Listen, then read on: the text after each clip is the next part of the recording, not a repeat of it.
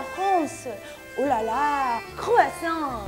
Eu sei que quando a gente fala em França, pelo menos um desses elementos surge na sua cabeça. Mas você sabe por quê? Coucou tout le monde! C'est moi, Ana, e hoje eu vou contar para você a história desses Três elementos que a gente associa tanto com a França. Vamos começar com esse aqui, le t-shirt à rayures. Essa camiseta tem nome. Ela se chama marinière e o nome indica sua origem. Em 27 de março de 1858, essa blusa fechada branca com listras pretas se tornou o uniforme oficial da Marine Nationale Française, a Marinha Nacional Francesa. E, em 1913, a créatrice de mode Coco Chanel usou a marinière e pronto! Foi o suficiente para transformar esse item em acessório de moda. Agora o beret, que a gente chama em português de boina.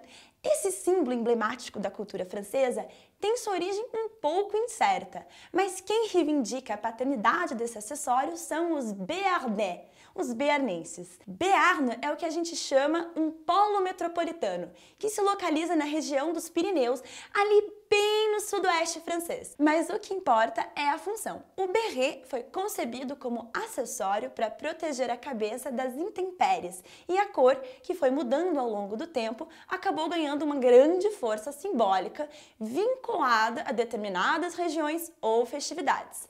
Certo? E como isso acabou virando chique e sofisticado e uma indumentária símbolo da França? Da mesma maneira que a marinière, sendo usado por ninguém menos que Coco Chanel. E também com uma ajudinha de certas atrizes da década de 30, de 40 e de 50 e 60, como Greta Garbo e Brigitte Bardot. E terminamos com o nosso querido croissant. Primeiro, o nome croissant significa crescente. E isso teria ligação com a forma desse pãozinho, que lembra uma lua crescente. Mas mesmo que o nome seja francês, o croissant não é. Dentro da pâtisserie française, o croissant se enquadra numa categoria chamada viennoiserie, que vou resumir, por favor, chefes, não fiquem chateados comigo, como sendo artigos de boulangerie que tem como base técnicas como a dos pães ou massas folhadas, mas os ingredientes são mais amanteigados e açucarados, como os artigos de pâtisserie. E como o nome sugere, Viennoiserie, a origem é a cidade de Viena, na Áustria, certo?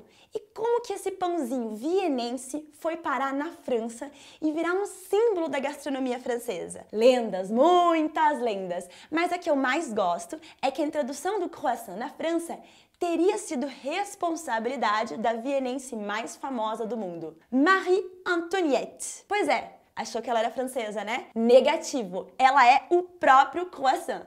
Conhecida pela sua atuação na França, mas originalmente austríaca. Mas como eu falei, isso é só lenda. Segundo historiadores da gastronomia, a receita que nós conhecemos hoje só surgiu no século 20 e foi apenas na década de 50 que o croissant passou a integrar o petit déjeuner francês. Quel est ton symbole français préféré? Conta pra mim aqui nos comentários e não esquece de clicar no sininho para não perder nenhuma atualização. A bientôt!